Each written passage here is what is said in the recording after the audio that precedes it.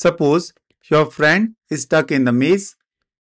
One way to get them out is trying every single path. This is like a recursive function, a brute force wanderer, lost in the maze.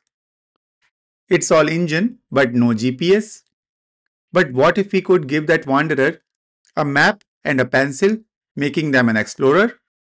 Then, instead of exploring all the paths, what if the explorer tries the different paths incrementally, where when they hit the dead ends, they trace back the steps and try a different route.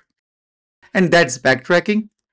Formally, we can define backtracking as an algorithm that tries different solutions incrementally, kind of in the depth first search way, undoing the choices that led to dead ends. So to summarize, depth first search is the overall exploration strategy, which is go as deep as possible down one path before trying another. Recursion is the engine that drives this deep dive.